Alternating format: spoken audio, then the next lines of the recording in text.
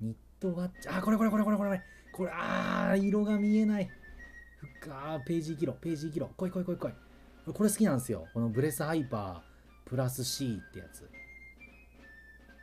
ニットキャップのつば付き、うん、頭の部分あ来た来た来た来た。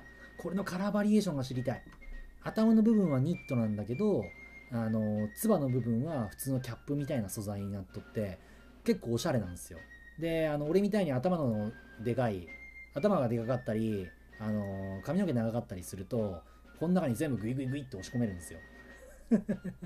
それであのちゃんとあのつば付きで日よけもできるっていう、うん、すげえあの好きなんですよ。で毎年毎年あの黒とあとはなんかいろんなカラーバリエーションがあって去年のやつちょっと買えんかったんやけど今年はなんかそれこそエリアトラウト用に1個欲しいよなカラバリ。ページが死んでるんですけどこれはサイトが落ちとるん？それともサイトが落ちとるん？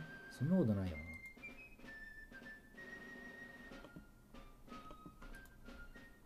プロダクトアウターベストパンツアパレル。その他アパレルか。直接行ってみよう、えーとこれだ。あ来た来た来た来た来た。カラーバリエーションは今年1個だけ。マジで？えマジで？今年1個だけ？あ来た来た来た来た来た。おーはいはいはいはいはいはい。去年はえーっとね青色と茶色だったっけな。あーなるほどね。あキャメルあグレーいいな。グレーめっちゃいいな。これよくないですかこれ？へえあこれいいな。グレーいいな。俺も持っとるのが黒なんですよ。黒まあ黒というかちょっとなんかグレーっぽいやつ。えー、あ実寸サイズ。実寸実寸サイズフリー。はいはいはいはい。